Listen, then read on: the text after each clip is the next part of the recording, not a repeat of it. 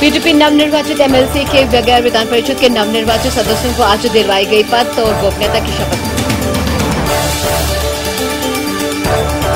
भले समय भीषण अग्निकांड 40 मकान पर दुकानें जली। मुख्यमंत्री ने किया शोक प्रकट।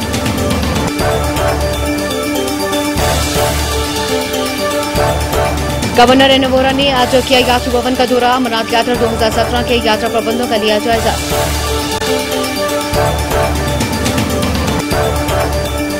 चीफ सेक्रेटरी ने आज उच्च स्तरीय बैठक में दरबार मुखी प्रबंधों का लिया जायजा।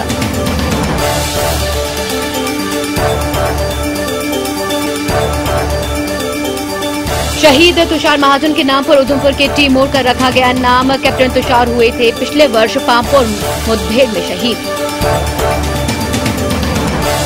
और कृषि मंत्री गुलाम नबी लोन हंजूरा ने एग्रो इंडस्ट्री डेवलपमेंट कॉरपोरेशन के कामकाज का लिया जायजा।